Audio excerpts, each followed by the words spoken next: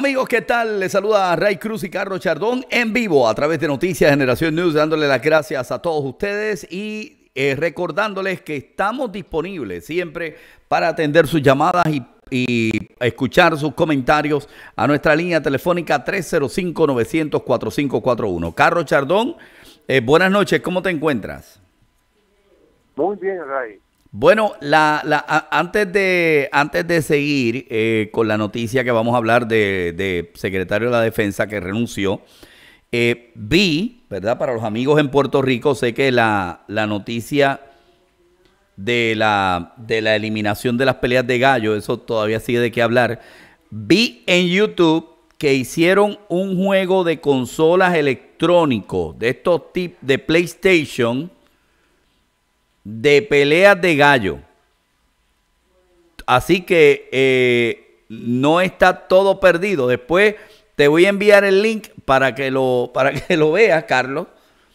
Eh, eh, se juega con, una consola de estas con dos equipos, ¿verdad? Digo, tú no juegas gallo, pero ni yo tampoco, pero para los que jueguen gallo, con dos equipos, uno escoge el gallo ganador y entonces puede comprarle con moneda de estas de juego puede comprarle espuelas, todas esas cosas que no sé, a lo mejor eso ayudará, digo, por lo menos un consuelo, ¿no? Mira, las peleas de gallo es un negocio de muchísimo dinero. Multimillonario, dicen. Multimillonario. Eso es lo que hay detrás de todo esto. es un dinero el cual se gana el dinero no se paga impuestos sobre lo que se gana y son unas fortunas inmensas las que corren en una pelea de gallo. Claro, y, y, aparte entonces se, se pegaron la, las organizaciones a decir que era maltrato de animales. Que claro es, o sea, si tú pones dos animales a pelear... Eso es una cosa. Eso es una cosa. Es maltrato de animales. Otras personas lo que dicen, no, porque esta es parte de nuestra tradición. ¿De qué tradición? España tiene las peleas de todo. ¿De qué tradición? bueno, la tradición puertorriqueña. Ok. Bueno, perdóname que no. Las peleas de gallos también existen, en Estados Unidos, ¿sabes? Claro, pero, pero ahora no, nadie va a poder hacer este peleas de gallo bajo ninguna circunstancia. Es correcto. Ahora bien, yo te voy a decir aquí una cosa. Aquí en uno de los periódicos sale que los federales se asegurarían de estar velando porque no hubiera peleas de gallos. Oye, ¿eso quiere decir que van a mandar más federales a Puerto Rico? Pues estos son los mismos que están tratando de evitar que entre la droga a Puerto Rico. Eh, yo creo que son los mismos y, y, yo no sé si tú has visto, Carlos, que yo creo que eso es lo mismo y no sé si tú has visto eh, en Caguas, específicamente, uno o en, o en algunos pueblos eh, en la isla, uno va y uno ve una pequeña carpa en la, a la orilla de la carretera y tú compras y tú puedes comprar ahí películas pirateadas. Eso es ilegal, pero hasta la policía se para y compra ahí. Aquí hay muchísimas cosas ilegales. Exacto. Pero ¿para qué usar policía o gente del FBI o gente... A perseguir gallera. Para perseguir gallera cuando aquí hay tantas cosas más importantes que perseguir. Exacto. Bueno, y en Estados Unidos hay una cosa importante que perseguir y se refiere a ahora, ahora un nuevo secretario de defensa después que Matis renunciara. La pregunta que te hago, Carlos, eh, tú que has estado viendo las noticias, ¿qué dicen los analistas? ¿Él renunció? ¿Lo renunciaron o, qué pasó ahí? Bueno, mira, si tú eres secretario de defensa y tú estás supervisando una guerra y te enteras por la prensa de que el presidente va a retirar las tropas de la guerra que tú estás supervisando, lo que te ha dicho el presidente a ti es mira, tú no vales nada. Así que Matis lo que hizo fue, renunció.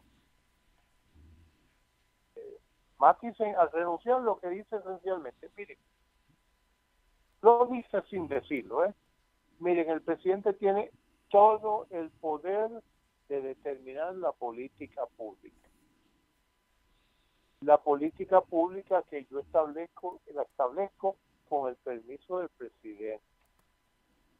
Ahora bien, si el presidente me dice elimine esa política pública, yo lo doy para atrás.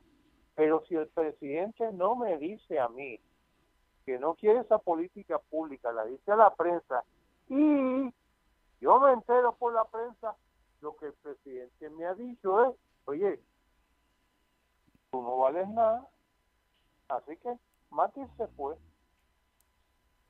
Ahora, pregunta, pregunta que te hago, Carlos, porque él, él renunció, él renunció, y hay algunas personas que de la oposición que ya están criticando el que, el que, el que Trump esté desmantelando a la, guerra o la guerra en Siria, eh, cuando eh, todavía ni Al Qaeda, ni los talibanes, los que estén por allí, los que sean, todavía no se ha terminado. Y a esa persona yo le pregunté, pero, pero pregunta que te hago, ¿eso no fue lo mismo que pidió Obama que había que hacer? Terminar la guerra en Afganistán, o sea, que los soldados regresaran, eso no es lo mismo. O sea, ¿por, ¿por qué? Porque ya vemos que políticamente van a utilizar el tema en contra de Trump como sea, aunque sea el grupo de eh, paz para el mundo, paz para el mundo le va a encontrar algo malo a eliminar la guerra. Mira, estamos hablando de un sistema eminentemente político. Así que, oye, oye uh, como se dice en inglés, right, wake up and smell the coffee.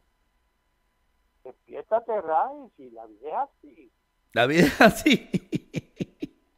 Claro que sí, despiértate. Oh, ok. Oye, ven acá, ¿cómo van a estar? Pero ve cómo van a hacer esto si no se lo hicieron. Mira, se lo van a hacer al que les dé la gana. Y si no se lo hicieron Obama, se lo van a hacer a estos pero, oye, tú no te acuerdas cuando George Bush hijo, desde creo que fue de un portaaviones o desde un crucero, que estaba, dijo, hemos ganado. Eh, me acuerdo. Y no habíamos ganado nada. No habíamos ganado nada, pero había que decir algo. Pues mira, el presidente Trump ha dicho, hemos ganado. Y va a retirar, retirar dos mil personas. Pero espérate, espérate. Él dijo que va a dejar de bombardear. No. Dijo que va a sacar los soldados. Ahora, desde afuera él puede bombardear todas las instalaciones. Sí. Esa es la realidad. que el sacar los soldados es una cosa. Ahora bien, sacar los soldados tiene otro efecto. En primer lugar, tiene el mismo efecto que tenía cuando nuestras tropas se fueron de Irak y cuando nuestras tropas salieron también de Afganistán. Y los que habían colaborado con nuestras tropas talibanes y los al-Qaeda y ahora los ISIS, mataron a todos los que habían colaborado con nosotros. ¿Por qué? Porque ya no había nadie que los defendiera. Esto va a pasar. Claro, pero ahora te, pregunto algo, Carlos. fíjate una cosa, el anuncio lo hacen en qué fecha a, a cinco días o a seis días de la Navidad.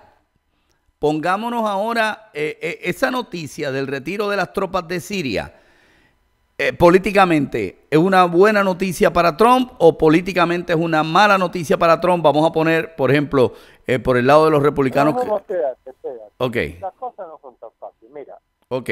Buena noticia para todos los familiares de estas personas que tienen hijos y hermanos y esposos allí Sí. es una noticia fantástica para ellos. Ahora bien, vamos a ponerlo de otra manera.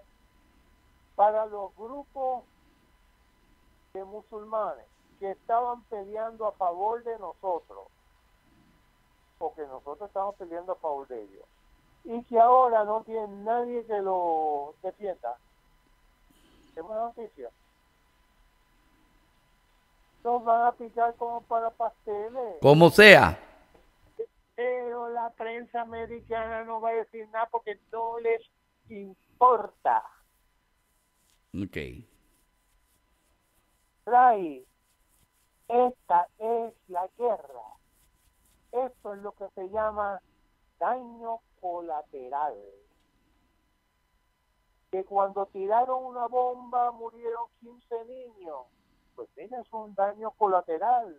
Que cuando se retiraron las tropas mataron a todos los que colaboraban con las tropas. Eso es daño colateral. Y mira, a la prensa americana no le importa. Pero eso es lo que estas familias se van a estar acordando por generaciones. De que acabó la guerra. De que acabaron la guerra, la familia de aquí americana, ¿eh? Sí. Las familias de allá, de Siria, se van a estar acordando por generaciones que los americanos me indujeron a pelear y después ellos se fueron y me dejaron aquí, me mataron a mi abuelo, me mataron a mi tío abuelo, me mataron a mi papá, todo porque los americanos nos metieron en este embrollo. Claro, pero no, pero no hay, pero, pero, pero lo van a recordar y sé por dónde, por dónde va la cosa cuando lo recuerden por generaciones. Pero sabes qué, vendrá otro presidente con presión política y abrirá las fronteras porque tenemos que recibir los refugiados. Yo no sé si Y lo, y lo reci- no y recibiremos a los niños que se van a acordar que los dejaron solos, los recibiremos y los entrenaremos en nuestras en nuestra en nuestras escuelas de piloto. para que entonces hagan lo que se hizo con las Torres Gemelas. Mira, Ray, yo veo esto y pues mira, ya esto anteriormente me asqueaba, me ponía de mal humor, me ponía, me enfermaba, pero ya, Ray, yo no puedo hacer nada. ¿Cómo lo tomas ahora, Carlos? ¿Cómo lo tomas? los, los saco de adentro, lo comento y digo, bueno, a Dios que reparta fuerza. Exacto, vamos para adelante porque no, no podemos hacer de otra. porque así nosotros, esta es la manera que se manejan. El matar a gente a diestra y siniestra, a nadie le importa. Con tal de que no sea quien, a los míos. Sí, a la familia directa. Mira, yo todavía, oye, yo tengo 80, voy a cumplir 80 años. Yo era un nene chiquito cuando el hermano de mami se fue de voluntario a la Segunda Guerra Mundial como paracaidista voluntario. No tenía que ir porque era el único varón que tenía mi abuela y en esa época, estos entonces, no llamaban a los, cuando a, que había un único varón, pues no lo llamaban. Este fue paracaidista voluntario y murió en la guerra. Y yo todavía tengo esa espina dentro. Y yo tengo, ¿cuántos años yo tenía? Tres, cuatro años. Y no me acuerdo de él, ni- pero, ah, la familia me lo acordaba. Y mi madre me lo acordaba, y mi abuela me lo acordaba, y mis tías me lo acordaban. Y, y no, y, no te, y no te decían, oye, yo no sé por qué tú quieres tanto a los americanos cuando esos americanos hicieron esto. Eso, pero mi tío se fue a favor de los americanos. Mi tío estaba, se fue voluntario a favor de los americanos. Sí. Ah, pero entonces, ¿qué es lo que pasa? Eso me desarrolló a mí un, una enemistad con los, no enemistad, una actitud tan, tan negativa hacia los alemanes.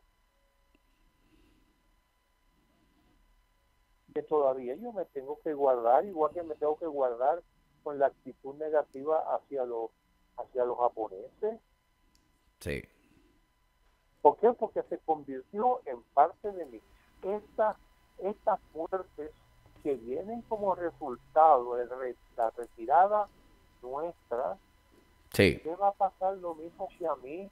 y de aquí a 50, 60 años, esas personas, al igual que yo me acuerdo, y lo tengo adentro, van a decir, mi abuelo lo más americanos lo dejaron solo. Lo enredaron y me lo mataron a mi abuelo y me mataron a mi tío abuelo y a papi porque nos dejaron solos después de habernos enredado en una guerra que no era necesaria.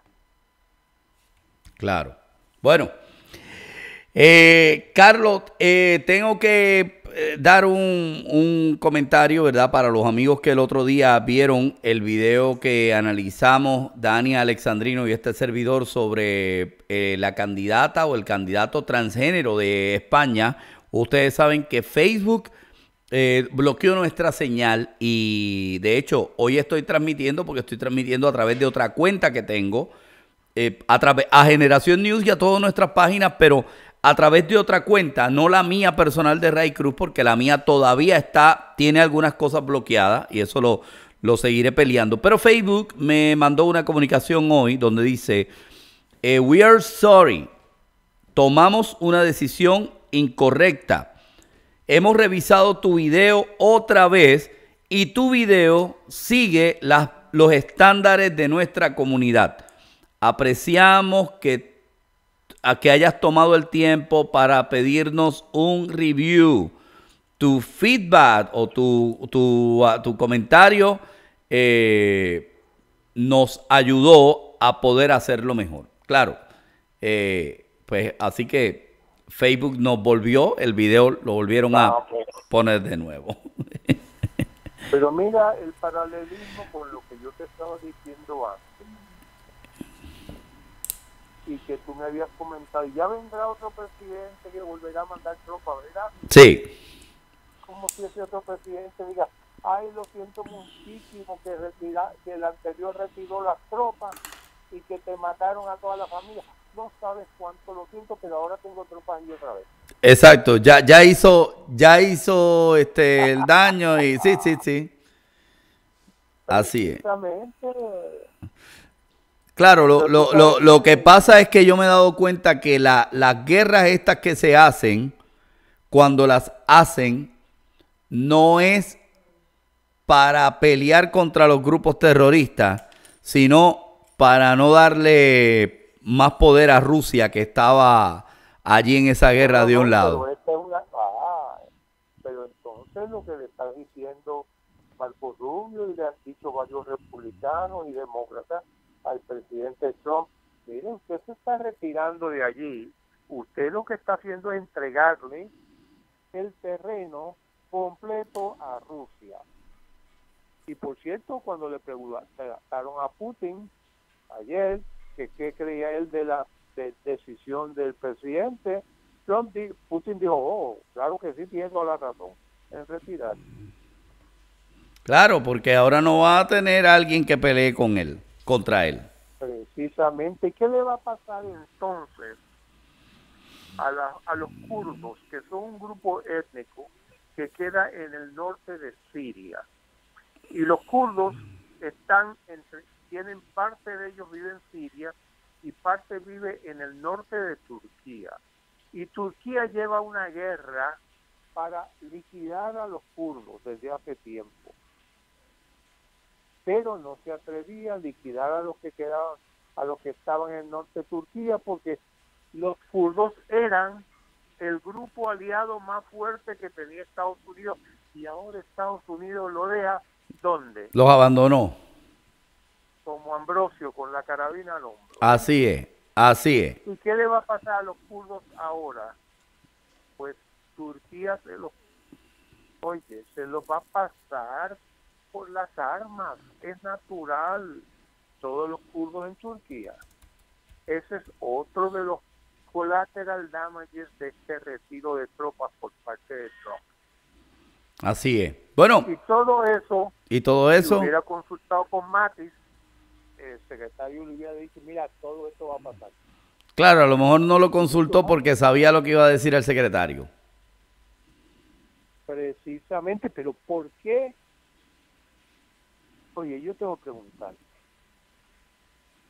¿por qué hace esto Trump? Al mismo tiempo, anunció antes de ayer, hace tres días, que le estaba quitando la prohibición de hacer negocio a la compañía más importante de aluminio de Rusia, a quien se le había prohibido hacer negocio. El dueño de esa compañía es íntimo de quién? De Putin. De Putin. o, señor. o, sea que podríamos decir que el retiro, el retiro de Siria también favorece a Putin, más esta decisión favorece a Putin. Claro que sí, el hombre este se llama Oleg Deriskaya. Okay. Y este hombre es multibillonario. Entonces, ¿qué fue lo que hizo? ¿Cómo es? ¿Cuál es la excusa? Ah, no, es que este hombre vendió parte de sus acciones, ya no tiene acciones mayoritarias en la compañía, por consiguiente se le quita a la compañía, se le quita la prohibición. Él no puede seguir haciendo negocios, pero la compañía puede hacerlo. Ok. Claro, la eh, en otras palabras, tenían penal. ¿Quién vendió las acciones? Ah, eh, ¿tú sabes a quién? Yo no, yo sé, yo, bueno, yo espero que no haya, no, no haya sido a ti, Ray, ¿sabes? No, no, no, no, no, y si, y si me hubiese vendido las acciones, no sé si estuviera haciendo el programa hoy. A lo mejor, ah, a lo mejor te estuviera diciendo, mira, vámonos a Rusia a hacer aluminio, Carlos. Pero mira la decisión entonces. Cuando le pusieron a Rusia, a, esta compañía, a esta prohibición, no se tomó en consideración de que si se sacaba del negocio de aluminio a esta compañía que para solo efecto, si no puede hacer negocio con Estados Unidos, la están sacando de gran parte del negocio mundial si se sacaba del negocio, le iba a hacer un daño muy grande y la producción de aluminio iba a bajar en el mundo. O, posible, o posiblemente otro haría aluminio que sería China y estarían dándole más poder a China. Bueno, yo lo único que te estoy diciendo a ti es, aquí hay miles de millones involucrados. De dinero corriendo por ahí que ni tú ni yo nos imaginamos. Esa es la realidad. O sea, las decisiones, las decisiones a ese nivel se toma de dinero, no, no tiene que ver nada más. Definitivamente. Bueno, de hecho, hablando de dinero, Carlos, eh, esta noticia, el presidente Trump dijo a los líderes republicanos de la Cámara en el día de hoy que no firmará un paquete de gastos aprobado por el Senado que no incluya los fondos de seguridad fronterizo solicitados y que las negociaciones para evitar un cierre del gobierno y, una eh, tienen que tener para este fin de semana. He dejado mi posición muy clara. Cualquier medida que financie el gobierno debe incluir la seguridad fronteriza, o en otras palabras, la seguridad fronteriza se refiere al muro. El presidente de la Cámara de Representantes, Paul Ryan, y el líder de la mayoría de la Cámara, Kevin McCarthy, eh, dijeron a los reporteros después de reunirse con el presidente de la Casa Blanca que Trump le dijo que no firmará la medida de gastos provisional aprobada por el Senado la noche del miércoles por preocupaciones legítimas por la seguridad fronteriza. Lo que vamos a hacer es regresar a la Cámara y trabajar con nuestros miembros, dijo Ryan. Queremos mantener el gobierno abierto, pero también queremos ver un acuerdo que proteja la frontera. Tenemos preocupaciones muy serias sobre asegurar nuestra frontera, dijo Paul Ryan, o sea, Carlos Paul Ryan y el otro de California están cantando al unísono con Donald Trump. Bueno, no tienen más remedio en ese aspecto. Paul Ryan se va, se queda Kevin McCarthy de California. Pero pregunta que te hago, cuando está... Ah, ahora yo te digo algo porque cuando, cuando, y esto le aplica a Trump también, cuando Obama tuvo Cámara y Senado los primeros dos años, él pudo haber hecho una reforma migratoria y no lo hizo. Y lo mismo le aplica a Donald Trump. Él pudo haber asignado el, dinero para el muro y no lo hizo. O sus republicanos no lo hicieron. ¿Por qué entonces ahora la presión a un Congreso de otro partido cuando el Congreso de Paul Ryan, cuando tuvo la oportunidad de hacerlo, no lo hizo. Yo estoy totalmente de acuerdo contigo, esto es politiquería. Ahora bien, vamos a irnos a un cierre del gobierno. De un cierre total es, hay algunas agencias que tienen dinero para trabajar hasta marzo. Hay otras que se les acaba ahora. El 22, 23 se les acaba el dinero. Ah, hay otras que, aunque se les acabe el dinero, hay grupos de personas que tienen que seguir trabajando, los de seguridad pública. Sí. Quienes están de aquí de por medio son los empleados federales. Porque durante la Navidad verdaderamente no va a haber gran demanda por servicios de las agencias. Por ejemplo, la salud sigue trabajando, educación sigue trabajando, que son los dos montos. Todos los aspectos de seguridad nacional que tienen que ver con el Departamento de Defensa siguen trabajando. Ah, no va a haber que parques nacionales. Se cierra el Morro en Puerto Rico, se cerrará San Cristóbal, se cerrará el Yunque, que es un parque nacional, pero ah, el resto sigue trabajando. Bueno, Carlos. ¿Y qué pasa en enero, Ray? Cuando entren los demócratas, los demócratas le van a aprobar la el muro. Eh, o, va, o el presidente va a seguir con la changuería esta. creo, creo que esto va a seguir siendo el tema de campaña. Va a ser el tema de campaña pero va a tener que entrar por algo que le digan los demócratas. No va a tener más remedio por ahora. Necesita, va a necesitar a la señora Pelosi para los proyectos en la Cámara. Esa es la realidad. Claro, lo que, lo que pasa es que no hay nada en este momento que Trump eh, quiera aprobar en el, en el Congreso que no sea el muro, porque bueno, no, mira, logró una de las cosas más importantes que casi, nadie está hablando. La reforma que ha habido para la, los delitos ah, de drogas federales es importantísima. Hace como 20 años se, se impusieron una serie de condenas obligatorias y el resultado fue que cayeron en condenas obligatorias personas que habían estado traficando la primera vez, habían traficado y los habían cogido con vendiendo drogas, 140, 150 gramos, y se les aplicaba 30 años, 40 años de cárcel. Nos hemos dado cuenta que eso no trabaja. Y gracias al yerno del presidente, Kushner, quien se ha reunido con una de estas personas que a quien estuvo 20 años en la cárcel por un delito de eso y que lo fue a visitar, se pusieron de acuerdo para este cambio. Vamos a ver más adelante cuáles han sido los cambios.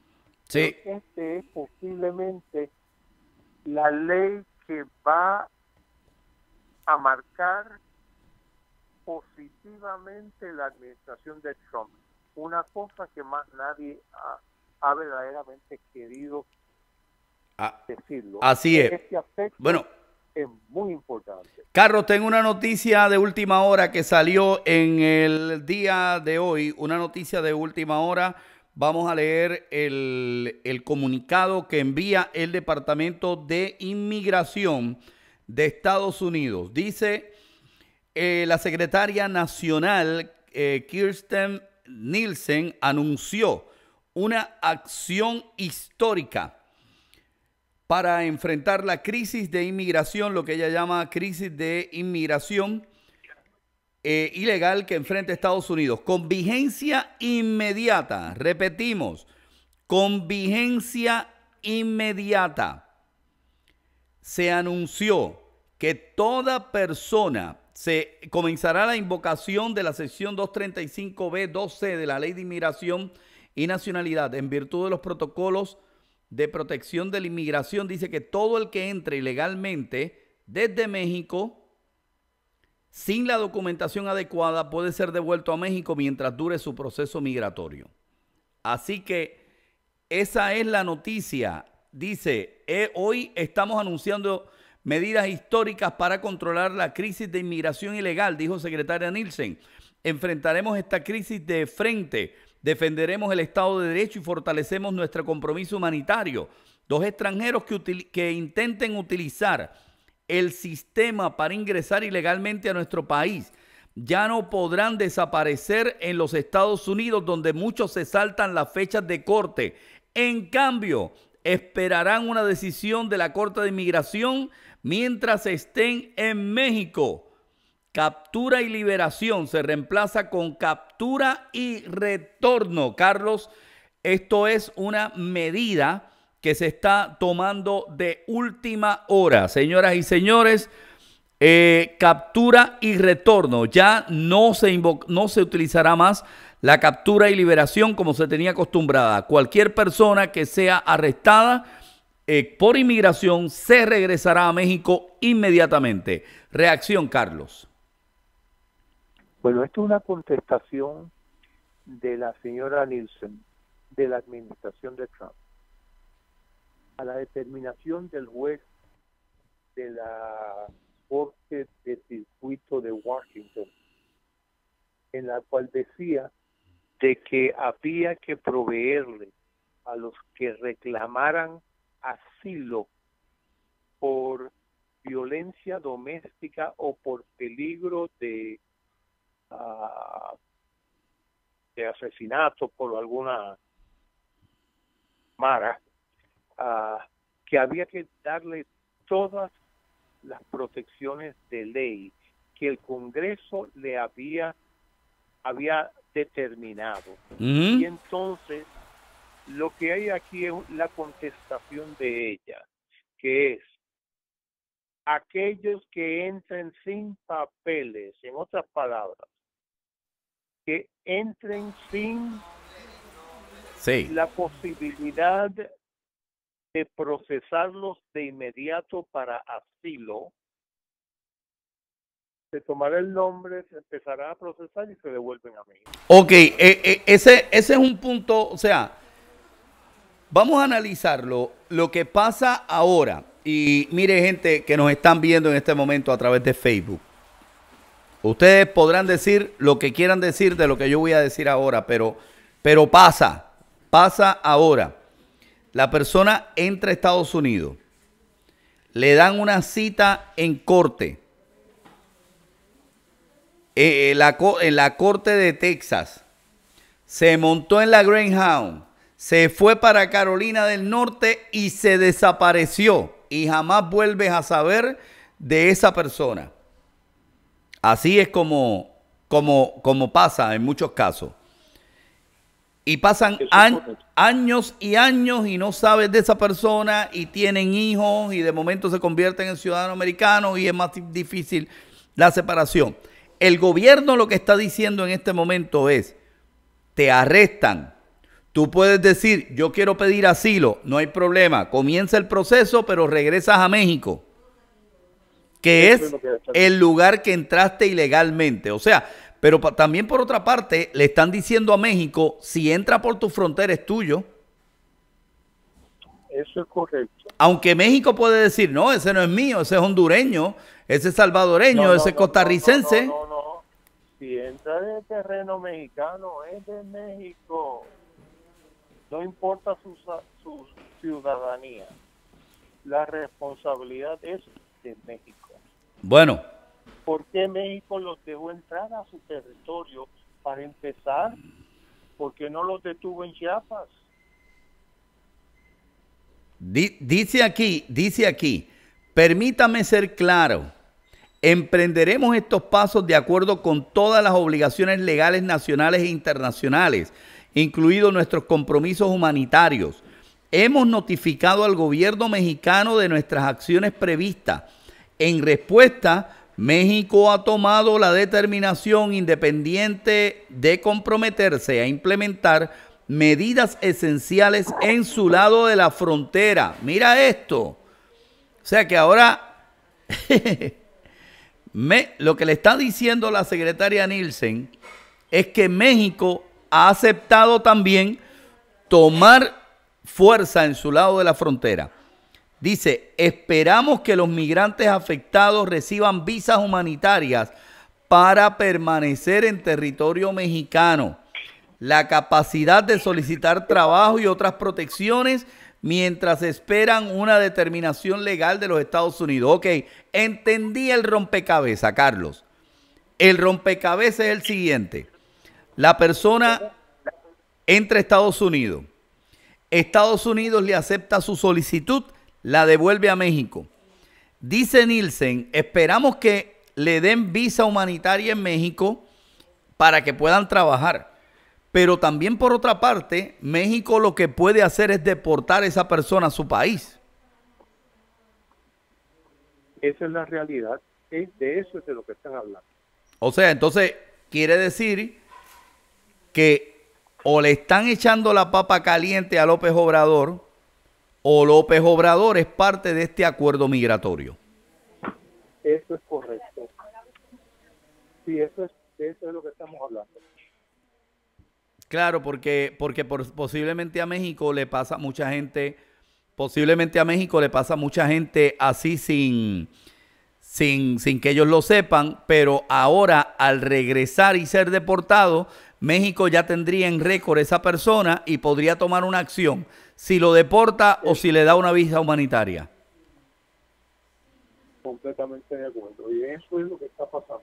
Estos son los acuerdos que se están llevando de los cuales uno se entera así, de repente así. Claro. Claro, me imagino que eso van a ser los que arresten en la frontera, porque si alguien lo agarran en North Carolina y dice yo entré por avión, pues entonces ahí va a su país. Bueno, eso vamos a ver. vamos a ver. Bueno. Algún buen determinará alguna otra cosa. Bueno, Carlos, pues te damos las gracias por el análisis esta noche. Un placer, claro que sí, ahí estaba Carlos Chardón en el análisis aquí en Noticias Generación News. Dándole las gracias a nuestro presentador. Mire, te ayudamos, te ayudamos con tus deudas ahorrándote mucho dinero, consolidación de deudas, seguros de incapacidad en vida, protección de enfermedades graves, plan de ahorro con buen rendimiento y protección financiera. No pierdas tu vida por no estar asegurado. Hoy en día, si tú tienes un buen seguro, tú puedes con tu seguro pagar los costosos tratamientos en vida. Así que llama a Cruz Santiago y Asociados 305 900 4541 305 900 4541 estamos para servirte. Así que eh, puedes eh, llamar con toda, toda, toda confianza. Buenas noches amigos de Noticias Generación News, ¿qué tal? Les saludamos Ray Cruz y Carlos Chardón a esta hora de la noche con ustedes para analizar todo lo que hay caliente. Hoy la red social Facebook eh, sigue siendo el tema más caliente durante el día de hoy. Bueno, em, eh, han salido noticias, nuevas noticias que hablan sobre lo que, lo que ha pasado y los escándalos en los que se está involucrando esta compañía. Vamos a hablar en breve de esto, pero antes quiero darle una información bien valiosa y quiero que ustedes Vean lo que tenemos a continuación. A un accidente o enfermedad. Tendrías que tener una reserva millonaria para cada uno de tus dependientes económicos y aún así quizá no sea suficiente. Con los beneficios que te brinda el seguro de gastos médicos, podrás evitar un desequilibrio económico y dormir toda la noche sin mortificaciones vamos a señalar la diferencia entre un accidente y una enfermedad. Un accidente es un hecho súbito, fortuito, violento, de una fuerza externa, producido de modo inesperado, totalmente ajeno a la voluntad del asegurado. Por otro lado, una enfermedad es cualquier alteración del cuerpo causada por un origen interno o externo en relación con el organismo. Puedes utilizar tu seguro cuando el total de los gastos derivados en una enfermedad o accidente son mayor que el deducible para que sea considerado como un gasto médico mayor. Si tienes más dudas de algo, pregúntale a los amables asesores que